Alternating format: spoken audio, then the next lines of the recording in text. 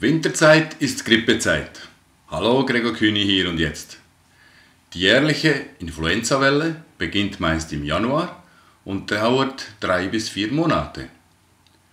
Wie kann man der Grippe vorbeugen? Wie kann man sich davor schützen, an Influenza zu erkranken? Ist die Grippeimpfung tatsächlich die einzige Alternative oder stehen uns auch noch andere Wege offen? Sicher ist, dass es sich nur selten lohnt, die eigene Gesundheit dem Zufall zu überlassen.